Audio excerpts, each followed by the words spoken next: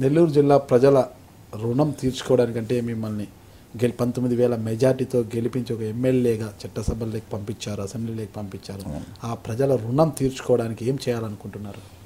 Sir మాకు power లేదు.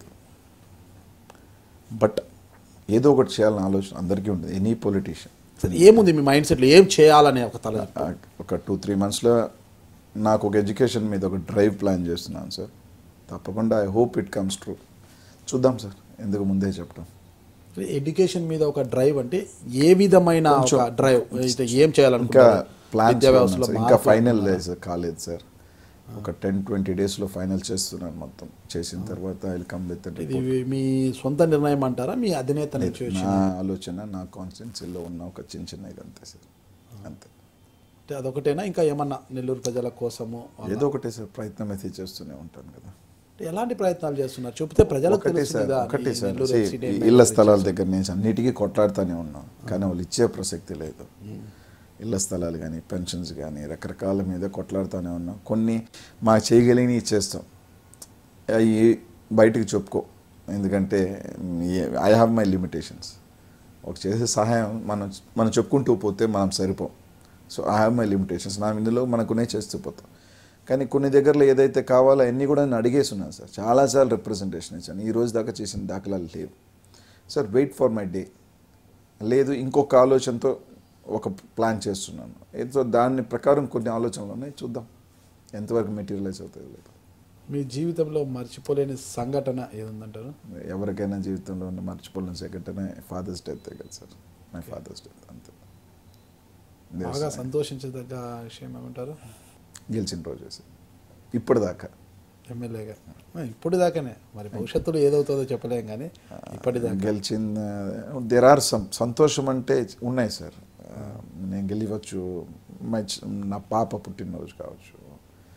There are ఎవరికైనా. మర్చిపోలేదు అంటే మీ పాప పుట్టినరోజు మా ఇంటి మహాలక్ష్మి పుట్టినరోజు విజయం. సాధించిన రోజా? పాప ఎనీవన్ చైల్డే కదా సార్. గెలుపు అనేది పక్కన పెడితే ఎనీవన్ కదా. నా కూతురు. బాబు పుట్టినప్పుడు లేదా? ఎంతైనా కానీ ఫస్ట్ ఇస్. First sir. అట్లా. వారసుడు అనేది నాకు అదేం లేదులేండి సార్. తర్వాత ఫస్ట్ పాపనా? అవును సార్. ఫస్ట్ పాప పుట్టిన తర్వాత సెకండ్ డెలివరీకి పాప. పుడుతుందా బాబా పుడుతుందా లేదు సార్. పడ్డారా? లేదు సార్. నేను లేదు సార్. ఎవరైనా పర్వాలేదు. ఆ. మన మనం ఒక పడినా ఒకటే పడకపోయినా ఒకటి. మన వాళ్ళే వస్తుంది కొడుకో కూతురునే వస్తుంది కదా. మనం నువ్వు టెన్షన్ పడి ఏం లాభం? అంతే కదా సార్. పాప పేరేమి సమన్వి. సమన్వి. బాబు పేరు? దర్శ్ నందన్. మీ భవిష్యత్ కార్యాచరణ ఏంటి? ఏం లేదు సార్. భవిష్యత్ కార్యాచరణ అనేది ఏమీ లేకుండా ముందుకు సాగిపోతున్నారా? ఏముంటుంది సార్? రెండు వేల పంతొమ్మిది ఎన్నికలకి మళ్ళీ ఎన్నికల్లో పోటీ చేయాలా? అప్పుడు దాకా మనం నిజాయితీగా ఉండి పోతానే ఉండి మనం ఫైట్ పోతూ ఉంటాం. అంతే కదా ప్రస్తుతానికి. నెక్స్ట్ ఇప్పుడు నెక్స్ట్ అటెంప్ట్ అదే కదా. సరే రెండు వేల పంతొమ్మిది ఎన్నికల్లో పోటీ చేస్తారు. ఇప్పుడు మీరు ప్రతిపక్షంలో ఉన్నారు కదా. మీరు అభివృద్ధి చేయాలని మీకు అనుకున్నప్పటికీ కూడా ఏమీ చేయలేకపోతున్నారు. కేవలం నిరసనలతోనే సరిపెట్టుకోవాల్సి వస్తుంది. ఈ నేపథ్యంలో రెండు వేల పంతొమ్మిది ఎన్నికల్లో తిరిగి విజయం సాధిస్తామన్న ధీమా మీలో ఉందంటారా? ఖచ్చితంగా ఉంది సార్. అది ఏ ఏ కారణం చేత? రెండు చంద్రబాబు నాయుడు గారు చేస్తున్న ఏ ప్రామిసెస్ అన్ఫుల్ఫిల్డ్ ప్రజల్లో తీవ్రత వ్యతిరేకత ఉంది. ఏదైతే చంద్రబాబు నాయుడు గారు నమ్మకం ఆయన ఒక అనుభవజ్ఞ లీడర్ చేస్తాడన్న ఇది ఇప్పుడు పోయింది. ఎస్ జగన్మోహన్ రెడ్డి గారు కూడా ఒక అవకాశం కావచ్చు. The the way is fighting కావచ్చు. ఇవన్నీ కూడా ఒకటి ఉన్నాయి. ఇవన్నిటితో మేము ముందుకు వెళ్తాం. ఐ హోప్ నేను పని చేయలేకపోయినా నేను ఎప్పుడు కూడా వాళ్ళని ఒక డిస్గ్రేస్ అయితే చేయలేదు. అది ఐ థింక్ అది కూడా నాకు ఎంతో కొంత ఫీచ్ అవుతుంది అనుకుంటాను మిమ్మల్ని అసెంబ్లీకి పంపించి మిమ్మల్ని ఒక ఎమ్మెల్యేగా తీర్చిదిద్దిన నియోజకవర్గ ప్రజలకు ఇక్కడ నుంచి మీరు ఇచ్చే సందేశం. ఎక్కడి నుంచైనా ఒకటే వేరే నమ్మకంతో ఓటు వేశారు. ఒక శాసనసభ్యుడిగా ఎలా ఉండాలి? అంటే నిజాయితీ first and foremost is honesty మీరు నా జగన్మోహన్ రెడ్డి గారు రాజశేఖర రెడ్డి గారిని చూసి నాకు ఓటేసి ఉండ ఓటేసి ఉంటారు ఎక్కువ మంది ప్రజలు. వాళ్ళకి జీవితాంతం రుణం ఉంటారు రుణం తెచ్చుకొని వాళ్ళతోనే ఉంటా. దట్ ఈస్ ఆ ఇది మీరు ఆ కుటుంబం మీద నమ్మకంతో నాకు ఓటేశారు ఆ నమ్మకాన్ని కాపాడుతా అలాగే నిజాయితీగా హానెస్ట్గానే ఉంటా. మీకోసం ఎంత దూరమైనా ఫైట్ చేస్తా. ఎంత దూరమైనా గొడవ పెట్టుకుంటా ఎంత దూరమైనా ఆలోచిస్తా. లోపల రాజకీయం చేయటం చేత కదా చేయను కూడా.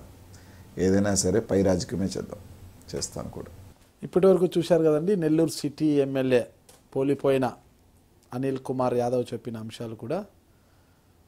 ప్రజల ఎదుట తాను లోపల రాజకీయం చేసే మనిషిని కాదని ఏదైనా యథార్థ రాజకీయాలు చేస్తూనే ఉంటుంది. ఏది చేయాలనుకున్నా తన రాజకీయ అధినేత అంటే తమ పార్టీ అధినేత జగన్మోహన్ రెడ్డి గారి చెప్పిన విధంగానే ముందుకు పోతుంది ప్రజల తనను ఎమ్మెల్యేగా గెలిపించిన ప్రజల రుణాన్ని తీర్చుకోవాలని తనకున్న ప్రభుత్వం నుంచి సహకారం లేకపోవడంతో తాను నిరసనలతోనే సరిపెట్టుకోవాల్సి వస్తుంది. అయితే రెండు వేల పంతొమ్మిదిలో జగన్మోహన్ రెడ్డి సీఎం కావడం ఖాయమని తాను ఎమ్మెల్యేగా గెలిస్తే రెండు వేల పద్నాలుగు ఎన్నికల్లో ఇచ్చిన హామీలను సైతం నెరవేర్చి తనను ఎమ్మెల్యేగా నిలబెట్టిన నెల్లూరు ప్రజల రుణం తీర్చుకుంటానని చెప్తున్నారు.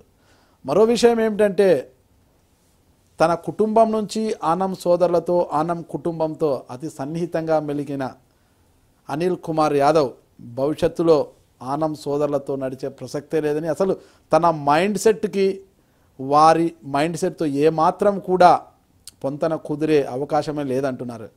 అయితే రెండు వేల పంతొమ్మిది ఎన్నికల నాటికి ఆనం సోదరులు వైసీపీలోకి వచ్చిన పక్షంలో అనిల్ కుమార్ యాదవ్ మైండ్ సెట్ ఎలా ఉంటుంది అన్నది మనము వేచి చూద్దాం. నమస్తే అనిల్ కుమార్ గారు.